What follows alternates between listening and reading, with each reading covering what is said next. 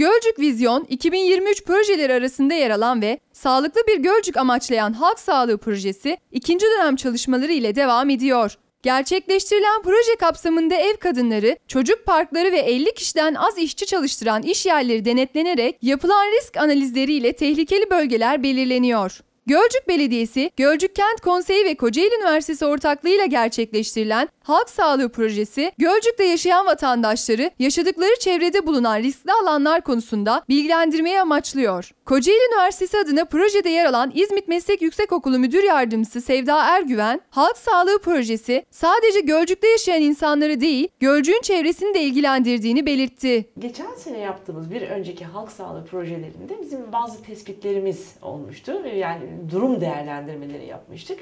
Bu durum değerlendirmeleri sonucunda çalışmalar sonucunda çıkan verilerle tekrar yeni ikinci e, projelerimize başlıyoruz. Kocaeli Üniversitesi öğrencilerinin proje kapsamında aktif olarak görev aldığını belirten Ergüven, halk sağlığı projesi sadece Gölcük halkı açısından değil, Kocaeli Üniversitesi öğrencileri açısından da birçok kazanımları olan bir projedir dedi.